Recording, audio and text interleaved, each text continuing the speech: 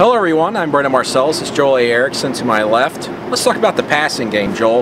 A lot of people believe that Auburn's going to throw the ball a little bit more this season. Coaches have not denied it. Dameyune Craig has said they're going to do it.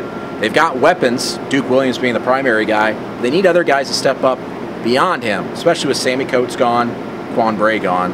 But they feel good about what they have. But also, with Jeremy Johnson being able to throw all the routes, uh, as Rhett Lashlee said today, they're going to want to do some different things in the passing game this season. Yeah, I think the spot that most of us are going to focus in on is that Sammy Coates role.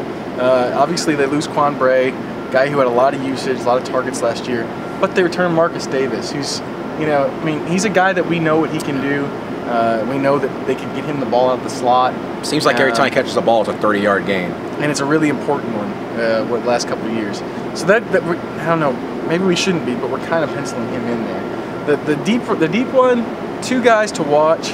Uh, one is Tony Stevens, uh, who Brandon's asked a lot about so, so far, uh, kind of off of some stuff the quarterbacks have said. And the other one's Ricardo Louis. Ricardo Louis at the bowl game that like he wanted to play the Sammy Coates role, but Rhett Lashlee said today, yeah. and this is something I've thought for a while, if Ricardo Louis can ever put it together, mm-hmm. he could be the most complete receiver on this team. We've seen him uh, take you know, he can handle bubble screens. He can take an intermediate route and turn it into a big one. He can go deep. He can really do everything problem for him is consistency. You know, this is a receivers group that should be quick, fast, that you're able to isolate and get them, get a short pass out, and then be able to attack the perimeter and run up field. We have not seen that the last two seasons, and I think a lot of that had to do with just Nick Marshall. Uh, you saw that very first game in his career against Washington State.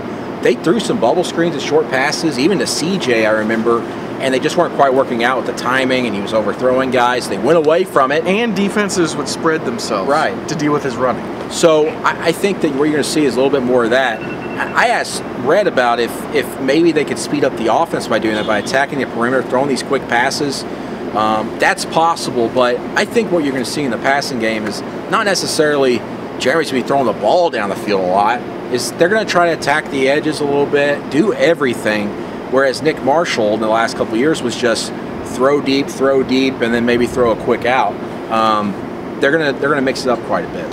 Yeah, I think you're gonna see more of so a, more roles for yeah, the receivers. More, yeah, and so that gives guys opportunities to shine. Yeah, another guy to watch. We didn't we haven't really asked about him yet, but I wonder if Melvin Ray doesn't take over that red zone red zone receiver guy, yeah. role that CJ Uzomah played.